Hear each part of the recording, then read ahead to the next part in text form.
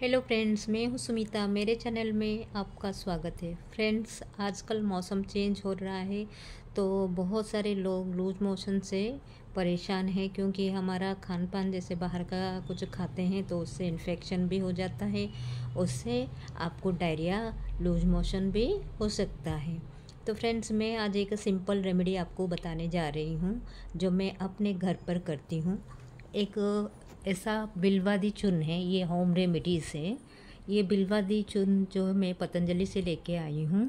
आपको चाहे किसी भी तरह का इन्फेक्शन हो पेट में और लूज मोशन हो रहा है उससे तो आप क्या करेंगे? एक गिलास गुनगुना पानी लेके इसका पाउडर, जो बिलवादी चूर्ण का पाउडर, आधा चम्मच उस गुनगुना पानी में मिक्स करेंगे।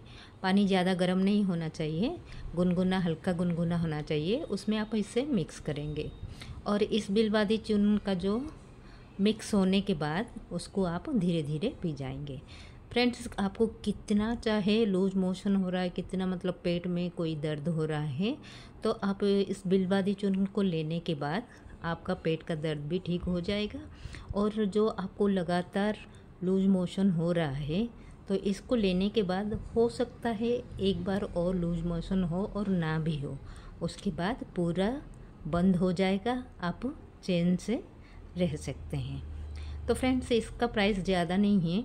ये फिफ्टी फाइव रुपीज़ का है। ये पतंजलि का प्रोडक्ट है। आप चाहे तो किसी और ब्रांड का भी ले सकते हैं।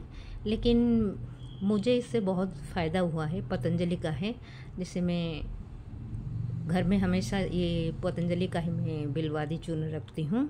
तो फ्रेंड्स, आप, आपको मतलब जो ब्रांड अच्छा लगता है, आप उसे ले सकते हैं। ये बहुत ही फ़ायदा करता है। आप इसे एक बार ज़रूर ट्राई कीजिए।